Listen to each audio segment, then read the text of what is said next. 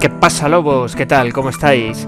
Pues nada, Epic Games nos da también, aparte del Raid 2, este Drifting, el arte de derrapar, una experiencia de conducción sin igual. Ya tenéis, sabéis, hasta el 25 de febrero, ahí tenéis disponible.